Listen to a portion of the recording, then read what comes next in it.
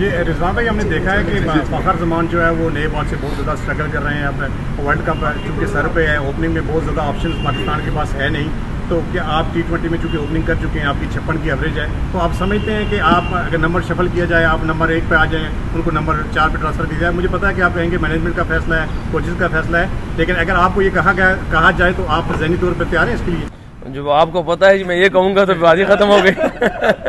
नहीं देखे फ़खर जमान सबको पता है कि अल्हम्दुलिल्लाह रिसेंटली उसने प्लेयर ऑफ़ द मंथ रह चुका है। अभी अगर आप जितना मेरे इलम में है recently player of the month जो वर्ल्ड की सतह पर आ रहा है तो ऐसा कोई नहीं कि तीन चार इनिंग्स से जो है ना, क्या कहते हैं, उसको हाँ हमें नज़र आ रहा है सब, क्योंकि बातें ऐसी होती है कि यार फ़खर जमान फॉर्म में नहीं है। मगर आप अगर आप उसकी स्टार्ट की इनिंग्स देख ले, उसके बल्ले पे बॉल लग रहा है। उसके आउट से लग रहा है कि यार अगर कोई एक जगह पे वो आउट होता तो हम समझ आते कोई यार कोई फॉल्ट है। मगर वो डिफरेंट तरीके से अगर वो आउट हो रहा है इट मीन्स के कुछ है, मगर वो उस पर काम कर रहा है इंशाल्लाह। अल्लाह से उम्मीद है कि इंशाल्लाह हमें ओपन चेंज करने की ज़रूरत नहीं आएगी, मगर बहरहाल फिर भी ज़रूरत आई तो ये मैनेजमेंट का फैसला है और हमारे मैं पर्सनली हर जगह के लिए तैयार हूँ। रिजवान मेलबर्न में इंडिया के खिलाफ पाकिस्तान खेला था, जो कि बिल्कुल क्लोज जाके पाकिस्तान हारा और ये वाला मैच कैंडी वाला भी मुकम्मल नहीं हो सका है। तो अब फिर 10 तारीख को मैच है तो ये असाइनमेंट अधूरी रहती है। 25 करोड़ लोग चाहते हैं कि इंडिया को हम हराएँ इस बार। देखिए, ये तो पाकिस्तान की हमारी आवाम भी चाहती है कि हम इंडिया को हराएँ और इंडिया वाले की आवाम भी चाह रहे हैं कि पाकिस्तान हार जाए। ये तो एक अपनी कंट्री से मोहब्बत है और हमारी मोहब्बत की इंतहा ये है कि अगर आप हर एक प्लेयर को देख ले तो बहुत ज़्यादा कमिट और हार्ड वर्क करके आ रहे होते हैं। ये एक, ऐसा नहीं होता कि जब इवेंट में हम पहुँचते हैं और हमारी उस दिन की मेहनत बहुत ज़्यादा हो तो हम इवेंट को जो अचीव करेंगे। अगर आप देख ले तो अगर नंबर वन आज पाकिस्तान की टीम है तो इससे दो तीन साल पहले की एक प्रोसेस स्टार्ट हुई है, एक मीटिंग स्टार्ट हुई थी दो तीन साल पहले। तो वो जो है ना मीटिंग अभी भी उस सब के जहनों में है कि वर्ल्ड नंबर वन तो यहाँ पे भी आके अगर हम इंडिया को आज के दिन के लिए सोचे, कल के लिए सोचे कि यार हम इंडिया को हराना है तो इसके पीछे एक प्रोसेस है पूरा। और अलहमदिल्ला हमारी कोशिश और चीज़ें बिल्कुल सबके सामने हैं। उस पर कंप्रोमाइज़ नहीं है हार्डवर्क पर कंप्रोमाइज़ नहीं है।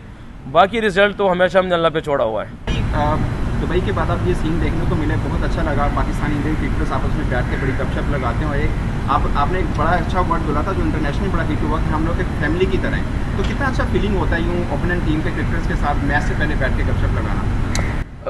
देखिए जी, चीज़ें मुख्तलिफ़ मीडिया में तो हमेशा चीज़ें मुख्तलिफ़ ही नज़र आती है, क्योंकि शीशे में देखना, लोगों की सोचे और बातें करना डिफरेंट होता है। मगर जहाँ तक इंडिया के प्लेयर्स और हमारे प्लेयर्स के बल्कि मैं इंडिया नहीं ओवरऑल जितने भी हैं, उन सब की बात कर रहा हूँ हमारे मैच से पहले आपस में, अगर आप देखते हैं कि फिर एक ज़माना था, कहते हैं कि यार उस प्लेयर से मिला था, उसकी ये आदत थी, उसकी ये अचीवमेंट थी।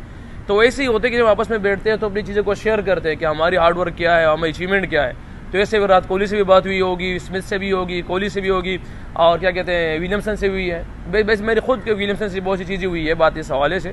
ये एक बहुत अच्छा साइन है हमारे प्लेयर्स के लिए भी और वर्ल्ड के लिए भी कि सबके सामने ये चीज़ है कि हमारे आपस में ग्राउंड में चीज़ें मुख्तलिफ़ है, क्योंकि हर एक अपने मुल्क के लिए लड़ रहा होता है। मगर ऑफ़ द फ़ील्ड जो चीज़ें हैं वो बिल्कुल ऐसे है कि क्या कहते हैं वो बिल्कुल डिफरेंट है। कितना फ्रस्ट्रेटिंग होता है जब जैसा वेदर रिपोर्ट्स देख रहे होते हो आप बारिश से इंडिया का मैच भी नहीं हुआ था आगे भी ये प्लेयर्स के लिए कितना फ्रस्ट्रेटिंग होता है बिस्मिल्लाह रहीम बिल्कुल जी क्योंकि आप एक मेहनत करके आए होते हैं गोल सेट करके आए होते हैं मगर आप हमेशा उन चीज़ों पर फोकस करते हैं जो आपके हाथ में होती हैं। वेदर्स और बारिश ये हमारे तो हाथ की चीज़ें हैं नहीं। मगर हमारी प्रिपरेशन में थोड़ी सी सख्ती होती है क्योंकि हम some time on and off होता रहता है चीज़ों में, मगर प्रोफेशनल आप कुछ चीज़ के लिए अपने आपको रेडी करना पड़ता है। सना?